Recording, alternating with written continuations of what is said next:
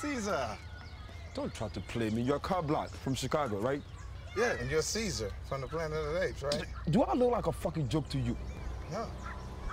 Consider yourself self Hey, hey, man, don't hit me with no. Don't do that.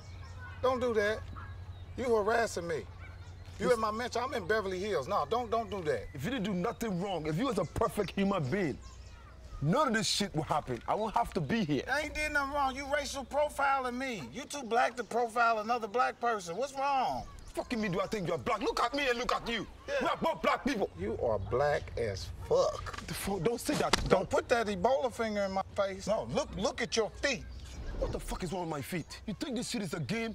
Huh? You fucking red bone bitch. Don't ever disrespect my feet like that again. I'm not disrespecting you. Yes, you are. It's because of your company that don't hate wiring that have destroyed the best restaurant. no, no, no don't don't don't. Not just restaurant, African restaurant Man. in the city of Chicago. Who else have you fucked up? We didn't wire. I didn't wire all these different houses. I'm from the hood. I made it out of there. We wired Bishop Tutu's hut. We we wired uh, uh, uh, Idi Amin's bathroom. So get on out of here, man. You're very disrespectful. Well, you bitch nigga. Oh, you a bitch nigga. And whatever container you came in, and whatever trunk they smuggled your black ass in, take your ass back. Hey, who are you talking to? Bitch. Hey, don't touch me. Don't again. touch me. Hey, my my hands. Fuck you, red bone bitch. Fuck you. You haven't made it.